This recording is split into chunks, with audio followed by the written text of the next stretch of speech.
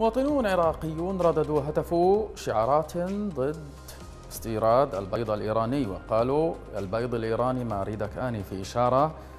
إلى تسهيل الحكومة دخول البيض الإيراني للقضاء على الإنتاج المحلي من البيض الذي ينتج في العراق نتابع